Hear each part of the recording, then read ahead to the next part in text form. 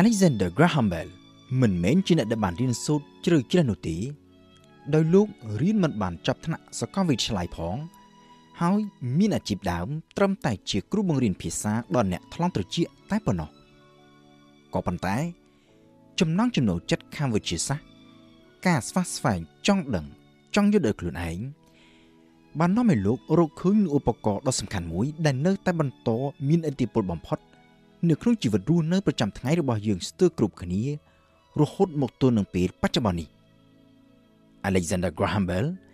កើតនៅឆ្នាំ1847នៅក្នុងទីក្រុង Edinburgh ប្រទេស Scotland រាជាណាចក្រអង់គ្លេស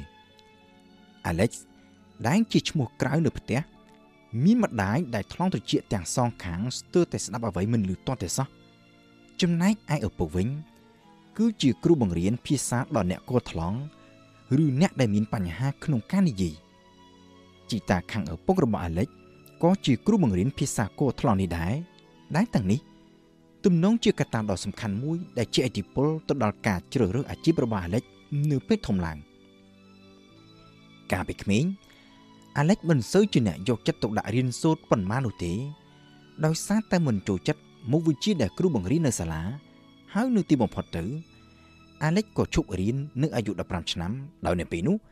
អាឡិចទើបនឹងរៀនបានត្រឹមថ្នាក់វិទ្យាល័យតែប៉ុណ្ណោះក៏ប៉ុន្តែអាឡិចចាប់ផ្ដើមផ្លាស់ប្ដូរគំនិតនៅក្រៅពេលដែលឪពុកបញ្ជូនឲ្យទៅរស់នៅជាមួយនឹងជីតានៅឯទីក្រុងឡុង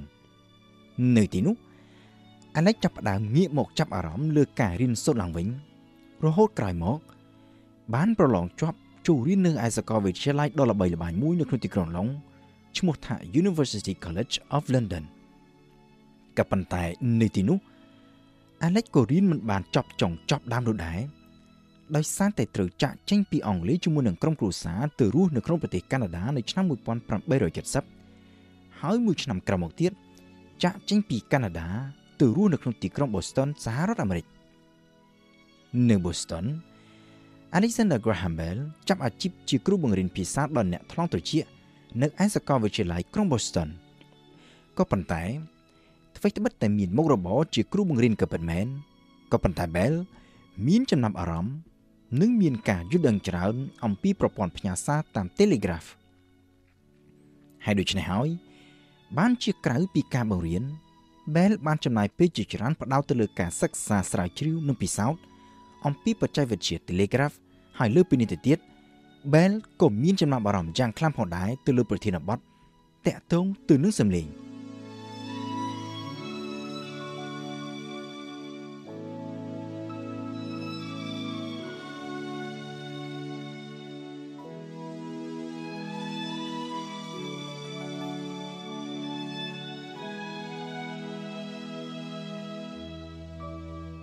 នៅ Boston ក្រៅពីការបង្រៀននៅឯសាកលវិទ្យាល័យ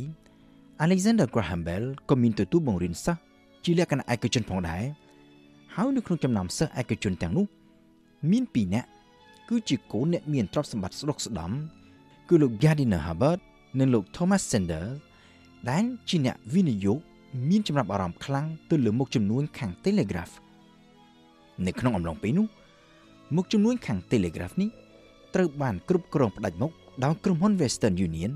ហើយដោយសារតែជាក្រុមហ៊ុនគ្រប់គ្រងទីផ្សារផ្ដាច់មុខគ្មានគូប្រជែងបែបនេះ Western Union អាចធ្វើការកំណត់តម្លៃតាមតែអំពើចិត្តដែលជាហេតុធ្វើឲ្យតម្លៃនៃការបញ្ជូន Telegram មានកម្រិតខ្ពស់ហើយដូច្នេះហើយបានជាលោក Gardiner Hubbard និង Thomas Sanders បានចាប់ផ្ដើមសហការជាមួយនឹង Alexander Graham Bell ដោយផ្ដល់លុយកាក់និងទីតាំងឲ្យ Bell ធ្វើការសិក្សាស្រាវជ្រាវនិងពិសោធន៍ ដើម្បីធ្វើយ៉ាងណារកវិធីកែលម្អប្រព័ន្ធ Telegraph ឲ្យបានល្អជាង និងមានតម្លៃថោកជាងបច្ចេកវិទ្យាដែលប្រើដោយក្រុមហ៊ុន Western Union ចំណុចសំខាន់នៃការប្រគួតប្រជែងគ្នានៅពេលនោះគឺការស្វែងរកវិធីធ្វើយ៉ាងណាអាចផ្ញើ Telegram ឲ្យបានច្រើន ក្នុងពេលតែមួយ និងនៅលើខ្សែតែមួយ មកទល់នឹងពេលនោះក្រុមហ៊ុន Western Union មានបច្ចេកវិទ្យាដែលអាចផ្ញើ Telegram បានដល់ទៅ4រួចទៅហើយក្នុងពេលតែមួយ ដោយប្រើបច្ចេកវិទ្យារបស់ Thomas Edison ដូច្នេះដើម្បីប្រកួតប្រជែងជាមួយនឹង Western Union បានគេចាំបាច់ត្រូវតែរកវិធីធ្វើយ៉ាងណាអាចផ្ញើសារបានលើសពី4ក្នុងពេលតែមួយនេះហើយគឺជាប្រធានបទចម្បងបំផុតនៃការសិក្សាស្រាវជ្រាវរបស់ Alexander Graham Bell ក៏ប៉ុន្តែ នៅក្នុងការសិក្សានិងពិសោធន៍ទៅលើប្រព័ន្ធផ្ញើសារតាម Telegraph នេះ Bell បានបែកគំនិត ទៅចាប់អារម្មណ៍យ៉ាងខ្លាំងទៅលើប្រធានបទថ្មីមួយទៀតគឺការចង់បង្វែរបច្ចេកវិទ្យា Telegraph ដែលគិតមកទល់នឹងត្រឹមពេលនោះអាចផ្ញើសារបានត្រឹមតែជាអក្សរឲ្យទៅជាប្រព័ន្ធដែលអាចផ្ញើសារជាសំឡេង គឺទូរស័ព្ទដែលអាចឲ្យគេនិយាយឆ្លោយឆ្លងគ្នាដោយផ្ទាល់បាន Bell បានចំណាយពេលយ៉ាងច្រើន សិក្សានិងពិសោធន៍ទៅលើប្រព័ន្ធផ្ញើសារជាសំឡេងនេះក៏ប៉ុន្តែក្រុមអ្នកវិនិយោគដែលដឹកនាំដោយលោក Gardiner Hubbard មិនមានទំនុកចិត្តលើបច្ចេកវិទ្យាថ្មីនេះក៏បានទាមទារឲ្យ Bell ផ្ដោតការសិក្សាតែទៅលើប្រព័ន្ធ Telegraph ដែលនៅពេលនោះត្រូវបានគេមើលឃើញថាគឺជាបច្ចេកវិទ្យាដែលគេអាចយកទៅប្រើប្រាស់ពិតប្រាកដជាក់ស្ដែងនិងអាចឲ្យគេយកទៅរកស៊ីរកប្រាក់ចំណេញបាន នៅទីបំផុតទៅលោក Hubbard និង Bell បានរកឃើញនូវដំណោះស្រាយកណ្ដាលមួយ គឺ Bell អាចចំណាយពេលខ្លះ ធ្វើការសិក្សានិងពិសោធន៍អំពីការបង្កើតប្រព័ន្ធទូរស័ព្ទបានទៅតាមចំណង់ចំណូលចិត្តរបស់លោក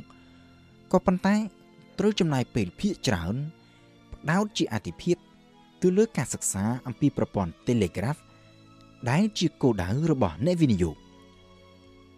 ការសិក្សានិងពិសោធន៍របស់ Bell គឺពិតជាទទួលបាននូវលទ្ធផលសមស្របទៅតាមការចង់បានរបស់អ្នកវិនិយោគពិតមែន ដែល Bell បានរកឃើញវិធីបញ្ជូន Telegram រហូតដល់ទៅ10ក្នុងពេលតែមួយនិងនៅលើខ្សែតែមួយពោលគឺការលើសពីបច្ចេកវិទ្យារបស់ Thomas Edison និងក្រុមហ៊ុន Western Union ដែលកាលពីមុន បញ្ជូនសារបានតែ4ក្នុងពេលតែមួយក្នុងពេលជាមួយគ្នា Bell ក៏អាចសម្រេចបានតាមគោលបំណងរបស់ខ្លួនឯងផងដែរដែលលោកបានរកឃើញវិធីបញ្ជូនសំឡេងតាមប្រព័ន្ធ Telegraph ហើយបង្កើតទៅជាប្រព័ន្ធទូរស័ព្ទ ព្រមទាំងអាចចុះបញ្ជីប្រកាសនីយបត្រកម្មជាម្ចាស់ស្នាដៃនៅឆ្នាំ1876មួយឆ្នាំក្រោយមកទៀត Alexander Graham Bell រួមជាមួយនឹងលោក Gardiner Hubbard និង Thomas Sanders ក៏បានរួមដៃគ្នាបង្កើតទៅជាក្រុមហ៊ុន ទូរស័ព្ទថ្មីមួយផ្ទាល់ខ្លួនឯង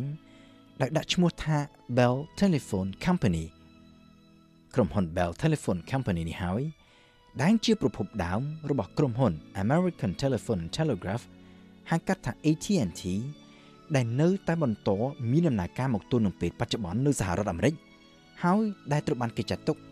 ថាជាក្រុមហ៊ុនទូរគមនាគមន៍ដ៏ធំជាងគេបង្អស់នៅលើពិភពលោក។